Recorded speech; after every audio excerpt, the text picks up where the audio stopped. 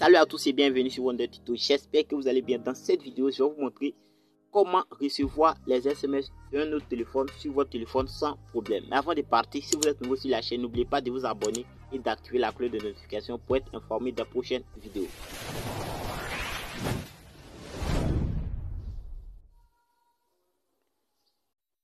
Donc pour le faire, vous devez installer cette application qui s'appelle SMS Forwarder. Je vous laisse le lien de l'application dans la description. Si vous voulez, vous pouvez chercher sur Play Store. Une fois que vous l'installez, quand vous l'ouvrez, vous allez voir ici autoriser. Vous allez simplement autoriser. C'est-à-dire quoi? Vous allez l'installer dans le téléphone sur lequel vous voulez que le téléphone que vous voulez qu'il transfère les SMS sur votre propre téléphone. Donc par exemple, si c'est sur le téléphone de votre enfant ou sur votre deuxième téléphone qui reste à la maison, vous pouvez l'installer dedans et vous allez mettre ici en haut le numéro est en bas, le mail. Si vous voulez, vous pouvez mettre simplement le numéro sans mettre le mail ou vous mettez le mail sans le numéro.